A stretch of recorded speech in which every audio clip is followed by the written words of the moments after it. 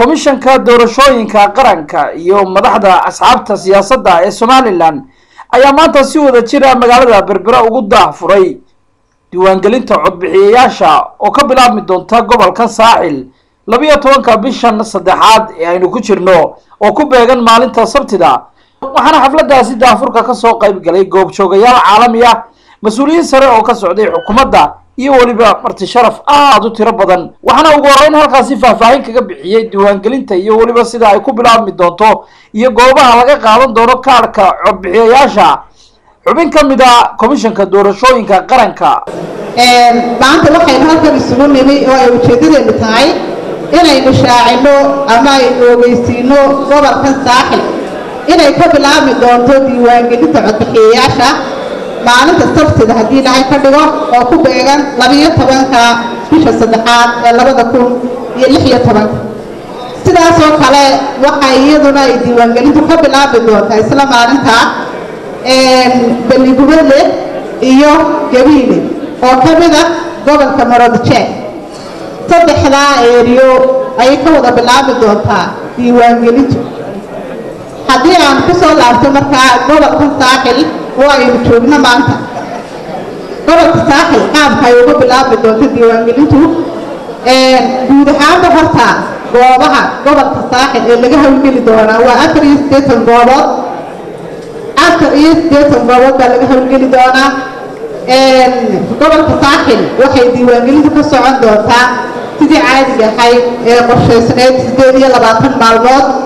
Oo kala duduwan oo aynu sharixi doono qaabka ay u dhici doonto tusaale ahaan magaalada berbere dhexdeeda waxay si toosa uga socon doontaa marka hore afar iyo toban maalmood oo xidhiir ah oo qofku wuxuu kala dooran doonaa goob ilaa saddex goobood halkaa waxaad moodaa dadku inuu ku yara wareero.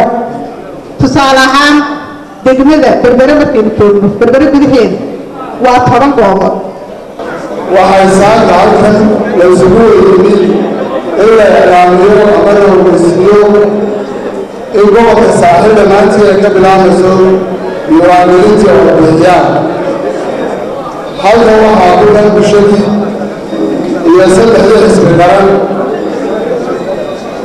oo ah inay dadweynaha gobolka saaxiil ay qaataan kaarka codbixiyaasha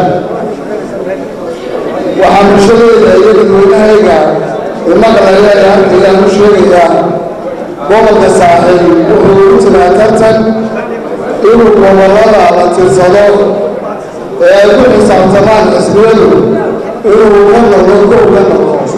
Hadduu leedaawayo caasimadda ku dhawaado ayaa rajeynayaa sidoo kale waxaa iyaguna halkaasi ka hadlay mas'uuliyiinta saddexda xisbi qaran mujaahid muuse biixi cabdi cabdiraxmaan maxamed cabdilaahi ciro iyo faysal cali waraabe. Iyagoona ugu baaqay shacabweynaha gobolka saaxil ku dhaqan inay diiwaangelinta si mug looga qayb qaataan iyaga oo ilaalinaya nabadgelyada. Waxa weeye maanta waxaynu dahafurinaa diiwaangelintii ka bilaabmaysay gobolka saaxil iyo laba degmo marooda jeex ah oo ah gabiile iyo iyo beligubada waa gobolkii saddexaad baa weeye. Labadii gobol hore si wanaagsan oo nabadgelyo ah ayay noogu dhammaatay markaan ka dhammayna waxaan noqonaynaa insha allahu tacaala haad.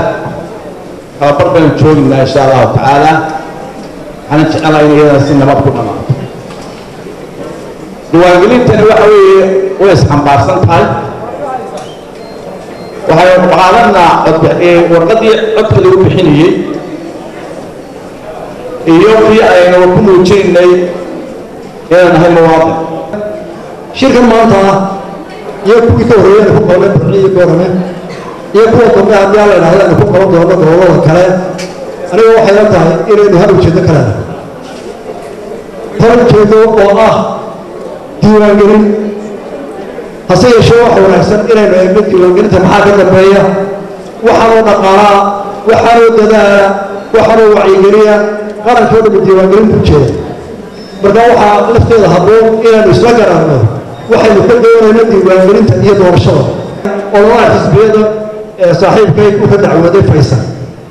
Islama fahamsanin anigu waxaan u qabaa inuu taageerayo diiwaangelinta inuu taageerayo madax dhaqanka uu nabadda ka shaqaynayo inuu taageerayo culimada oo aanu waddo wad waddo bulshada in bar iyo galbeed laysaga warramo oo laysdhexgeliyo oo laysku daro oo waxa dhexdooda yar laga qaado oo nabadda iyo midnimada horseedka loo wado.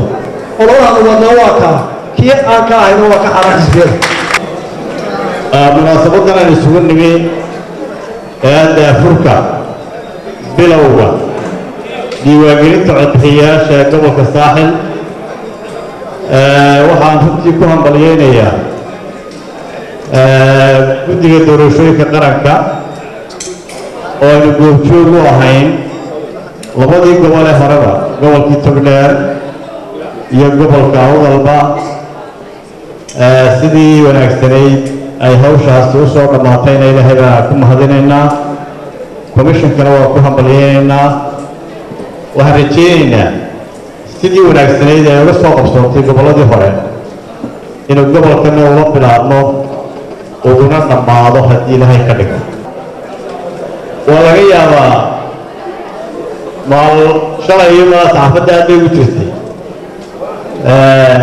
aniga saaxiibkay guddoomiye faysal ama uu wadan iyo iyo wicid waxaan saxaafadda ku wargelinayay shacbigaba arrintaa ku jirtay saxaafadda shalay iyo maanta iyo waxaa iska ahayd unba waxoogtooyinkii siyaasadda waana iska dhammaatay maxamed cabdilaahi soo fadhiistay somaali channel magaalada berbera